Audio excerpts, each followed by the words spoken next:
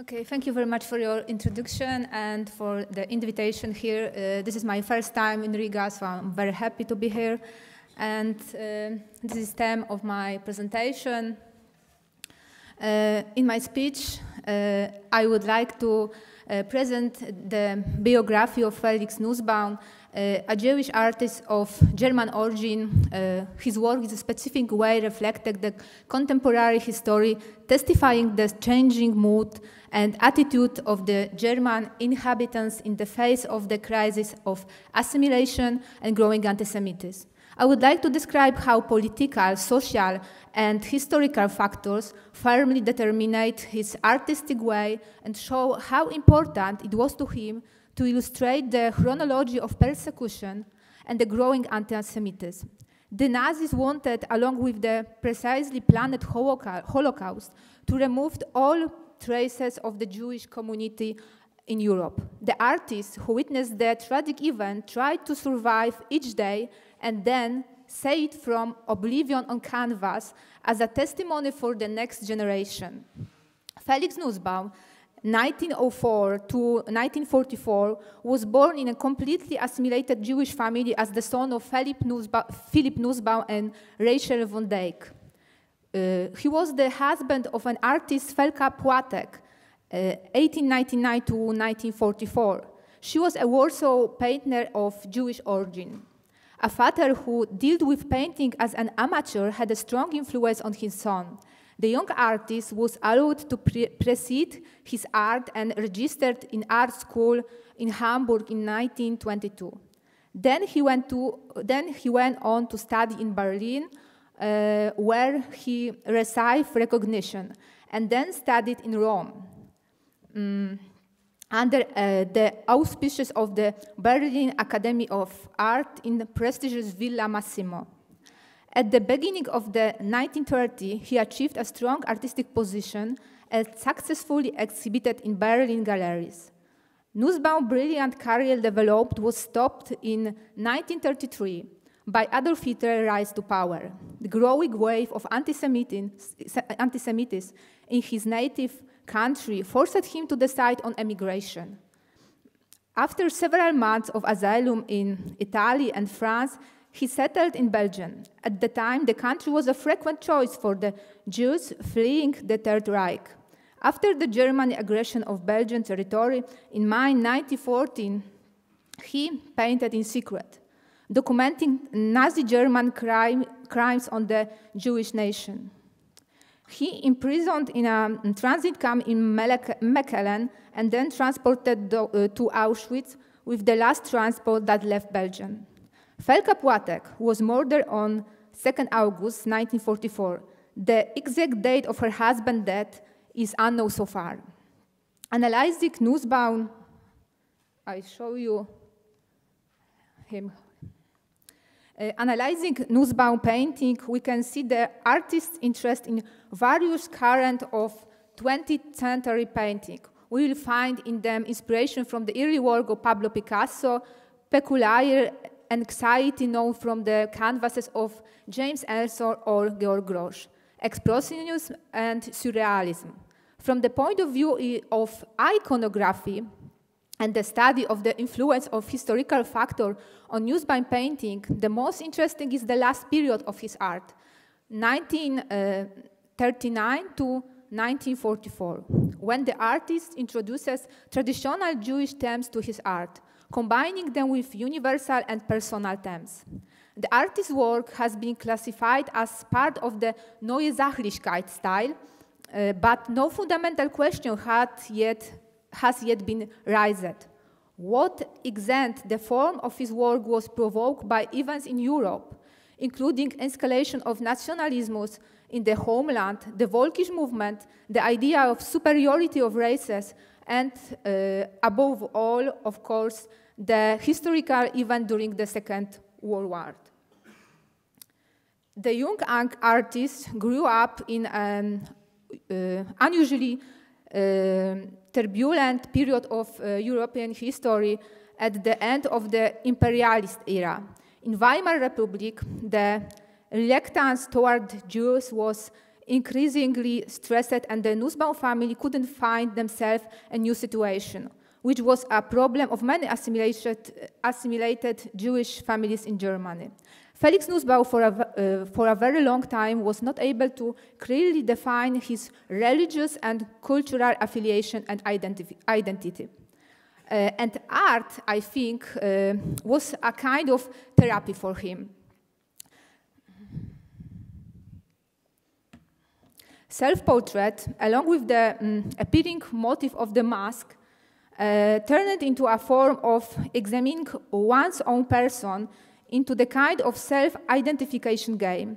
In self-portrait from 1928, from the Berlin pe period in his life, on the one hand, the artist measures us with penetrating eyes, but on the other hand, maybe he examines himself looking in the mirror.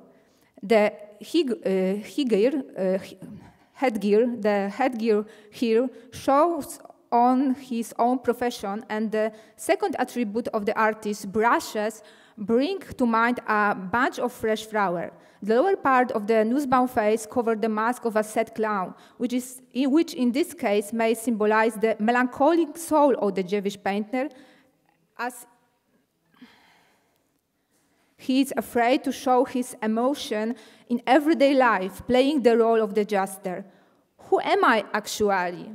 Felix Nussbaum seems to be asking himself, a German of Jewish origin, or uh, maybe a German Jew? Uh, viewers uh, maybe just simply see here an artist.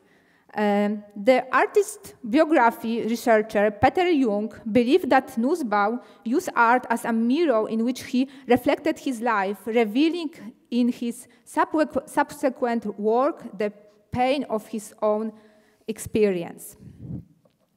The stay at the German Villa Massimo Academy has strongly influenced the personality of uh, the artist.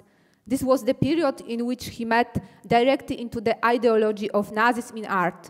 During his study, he met Arno Breker, the uh, future first sculptor of Hitler.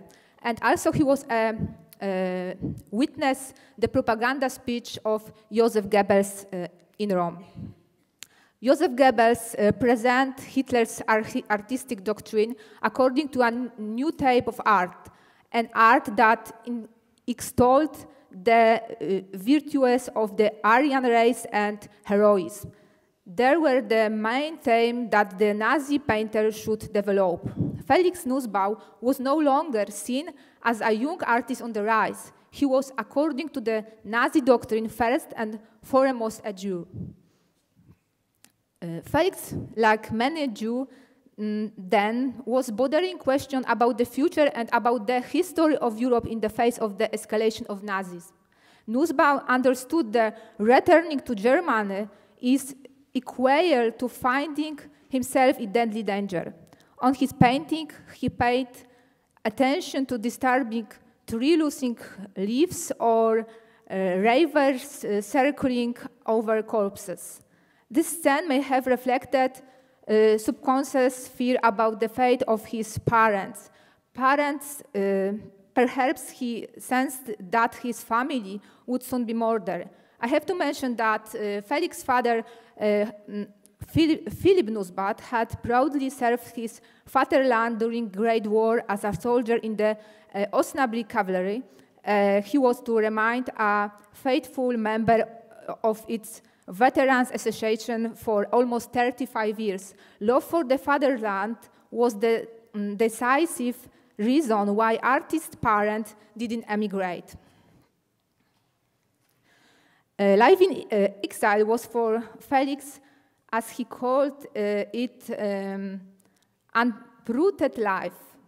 Uh, he painting of harbors and rooftop view of his living quarters became motive for endless waiting uh, and feeling uh, of entrapment. We see street and jetty, jetty as places of isolation and abandonment, a lot of prospects and people waiting uh, around idly, lost places devoid of hope and full of resignation, like, for example, here. And On this picture, uh, here we see a huge black iron bollard stand in the middle, uh, here, uh, in the middle uh, foreground, dominating the entire composition. If we run our imagination more strongly, we can see the arm of a huge octopus that could open at any moment to seize their prey. The line behind black uh, iron bollard looks like looks like a sea snake ready to crush it cap captive. Uh, in my opinion, it is a metaphorical display of stagnation and inaction that can become a deadly threat, lull our vigilance.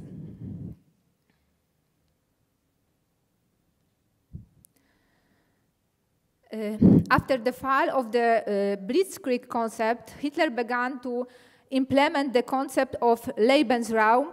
Its result was the implementation of the plan for the final solution of the Jewish question. In December 1940, uh, Felix and Felka were entered into the Jewish register of the city of Brussels, which resulted in their being banned from work. The word for the artist has become obscure and shocking. He was aware that in a short period of time, the Jewish people couldn't be exterminated, but he was becoming more and more connected with his own nation. Art took on a new meaning for him and became a record of political events and crimes committed against Jewish. Subsequent months in hiding contributed to the degradation of his life as a man and as an artist. In the end, there was only a small place left in the attic of one of Brussels houses. For a, short, for a short period of time, he even stopped painting with oil paint because in this way he could betray his place of hiding. His fear, his fear of discovery became a reality. Nussbaum began to fully understand that his life as a Jew and the life of the entire Jewish community were under external threat. I would like to now uh, present to you some selected uh, painting from period 1939 to 1944. Uh, this work expresses his overwhelming, over, overwhelming uh, feelings of fear, melancholy, persecution, and the um, approach of death, although uh, occasionally portraying symbols of a fragile, uh, fragile optimism and one of them, the secret, three figures stand before an empty room, their head and shoulders forming a triangle. In the composition, the hand of the three figure form and convey a message. Uh, concealment, whispering, fear, listening, and knowledge, silence. On the immediate, immediate level, Nussbaum paintings document, documents the situation of the emigrants passing on the terrible news from Nazi Germany secretly, behind their hand. And they had been ordered to keep quiet in their host country. Otherwise, they can be recognized and expelled from there. Expelled from there. And Second one, fear. Uh, this is Felix and his Nancy uh, Marianne uh, and stand in front of a wall under a burning gas lamp that has been camouflaged with the blue glass because of the air raid. Behind them on the wall is a poster proclaiming uh, it's France, um, uh, Tempête sur uh, l'Europe. It's something like a storm under Europe a storm over Europe. Uh, the fear is uh, visible in their face and eyes. Germany had now uh, unleashed war all over Europe. The artist, the Jewish artist was aware that under pressure, present condition, all family connection could be destroyed. This growing isolation was acting like a destructive force on them private world. And the next one, uh, Orgelman, Orgelman, it's mean uh, organ gringer, um, and it's uh, an example of a strong, uh, its, its example of a work um, strongly referring to traditional form of imaging. There are references to Albert Dürer melancholy. A pensive man, probably alter ego, uh, artist alter ego, is surrounded by horrors which are the result of the war. Two skeletons uh, are reference to uh, Dance of Death or the Triumph of the Dead, the motif very popular in Baroque painting, stroll on a bloodied stone uh, sidewalk. Nightmarish street uh, is dead and blood uh, mark are visible on the facade, facade of devastating tenement houses. In some windows are stick black flags, symbol of mourning. We can see on the foreground the fly here. Uh, in Vanitas still life, a fly is often showing sitting on a scale as a wearing and a reminding of, of the brevity of life. The dead street depicts the artist's dead world. The storm of uh, Nazi tyranny that had unleashed war over Europe had brought a tray of death and devastation and finally destroyed culture. That all, it being blown down the street like shape of, uh, like a scrape of newspaper. And next is the, I think the most, uh, no, the best known pictures of this artist. It's uh, self-portrait with uh, Jewish identity card and um, called by the employees of the museum in Osnabrück, because in Osnabrück is the museum of Felix Nussbaum, and uh, they, this employee called uh, for this uh, painting uh, Mona Lisa from Osnabrück. It's ordered to emphasize its historical value. The image uh, in strongly accented of the symbol of Jewish identity, the, the passport and the Star of the David, which, however, don't refer to Judaism in this case, but are a synonym of persecution and dehumanization. In the artist's eyes, uh, um, in the artist's eyes look uh, like an accusation uh, directing toward us. And thus he demand uh, an answer in this way, why he was so uh, humiliated, or maybe the artist asked us to keep his Jewish identity secret. Or maybe he asked if we realize what it means to be a Jew at that time.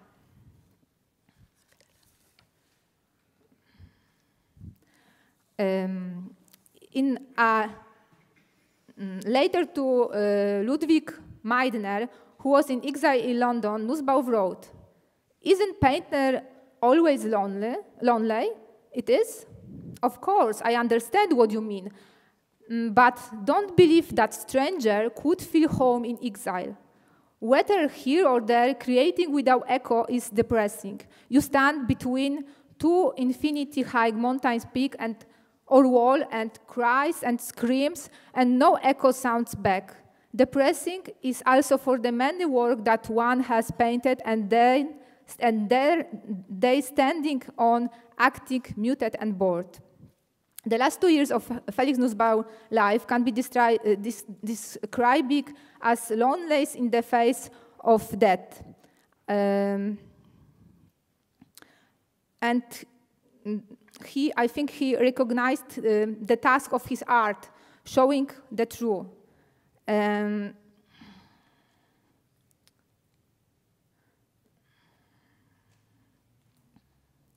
and the next uh, one, um, it's um, Jeff by the window.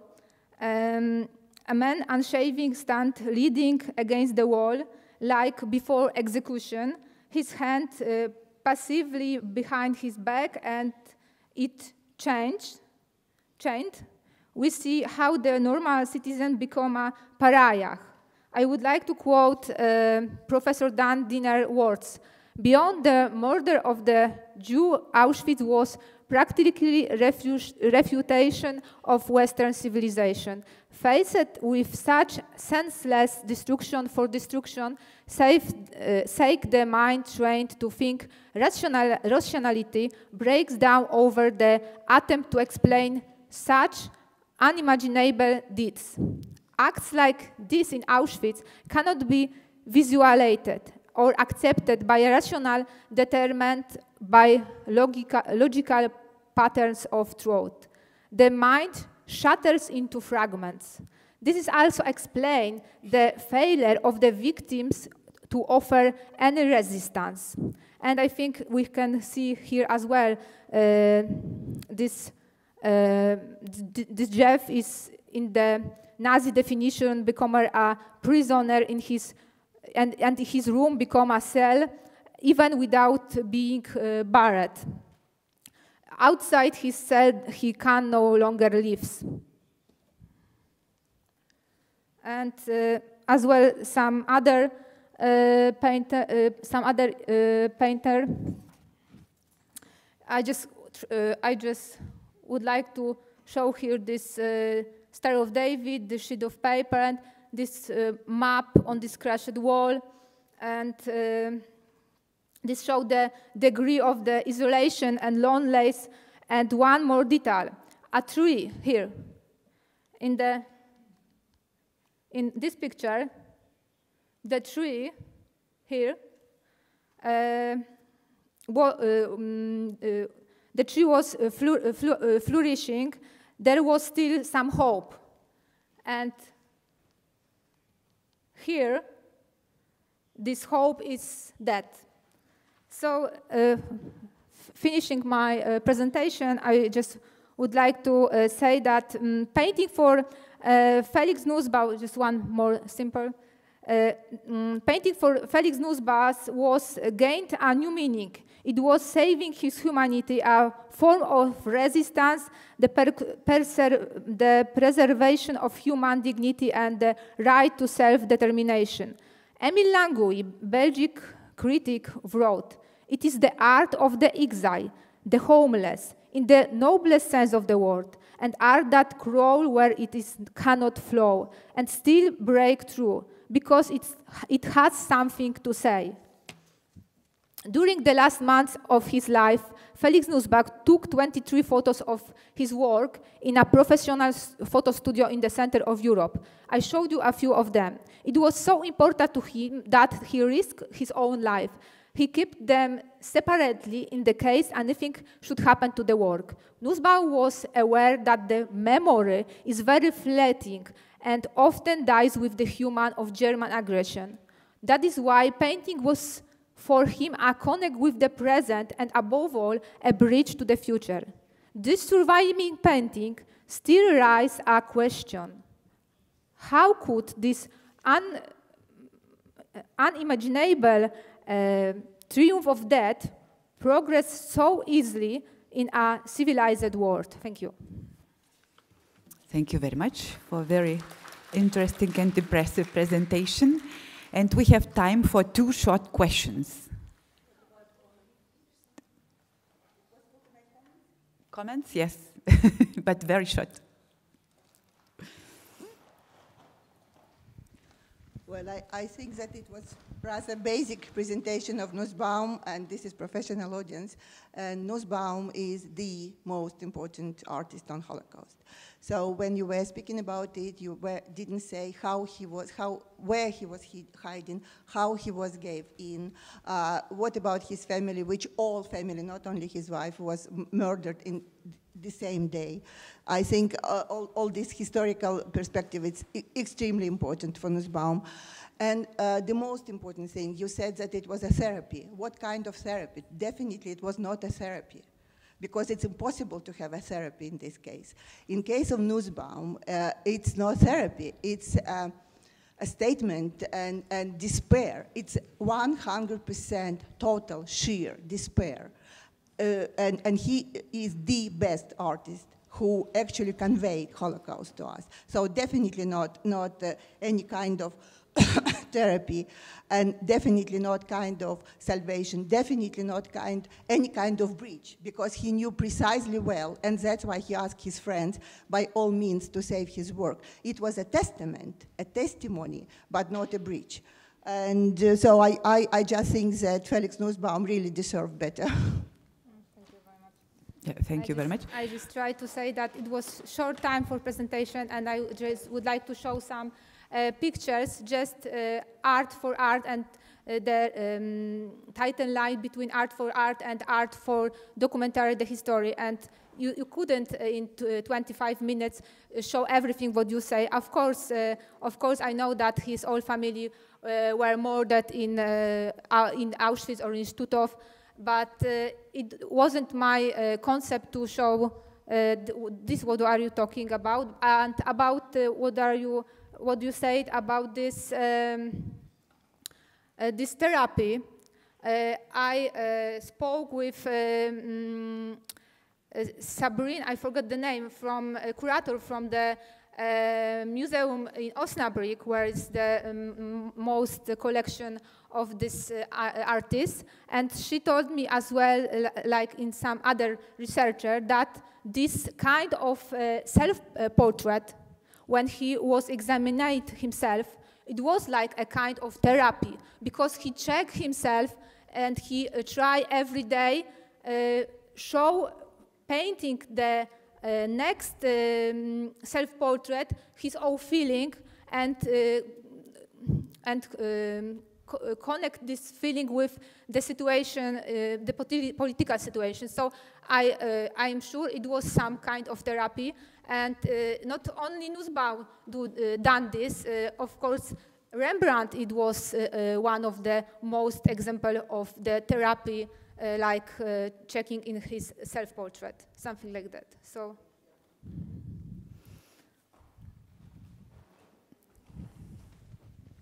Thank you. David Glasser from Ben Uri Gallery Museum in London. I just wanted to congratulate you on your uh, presentation.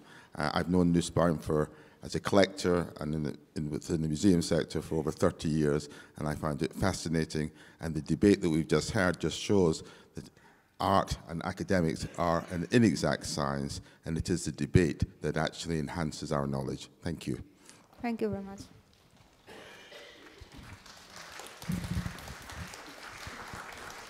Yeah, thank you as well. Um, Thank you. Um, I want to second this. It's quite interesting to see do we have as professionals, what is a professional here? Do we have as professional the ability to say something is the most important, the best, the greatest art piece of art in a certain environment? I think it's much more important to, and interesting to, see to see who has got the power to determine if something is important or not.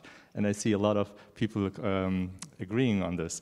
Uh, I would certainly disagree with a lot of things. Like everybody will, who has done something on this will agree with, with will disagree with something. But I think it's quite important to realize that this has become some of the most iconic pictures. So it's not.